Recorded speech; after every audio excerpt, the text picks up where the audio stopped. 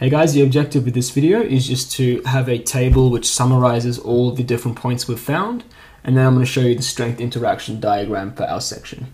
So all I've done is I've taken the point, the axial load, and the moment for each of our points. So squash load, decompression, balance nominal, balance actual, and the pure bending. Here's all the corresponding axial loads and all the corresponding moments. At the squash load, there's zero moment, and at the pure bending, there's zero axial and all the other forces and moments we found in all the previous videos. So that's a table summarizing everything.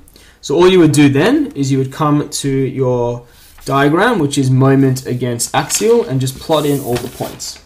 So this looks pretty similar to what's in the code. Here's the strength interaction diagram for the code in section 10.6.2. So that's what it's going to look like. We've drawn ours here.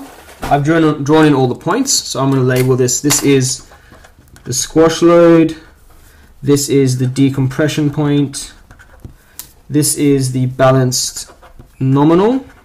This is the balanced actual. And this is the pure bending.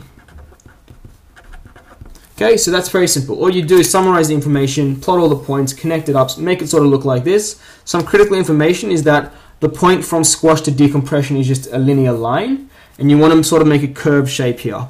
And you also obviously want it to look sort of like this here.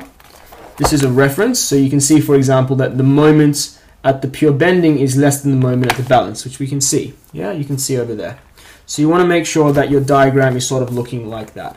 But there you have the strength interaction diagram, which plots axial against moment for our section and for the example we have done. Anyway, guys, I hope all these videos have helped. Um, I've done pretty comprehensively everything you need to know. We've gone through all the different points. Um, I've even done quite a complicated section with three layers.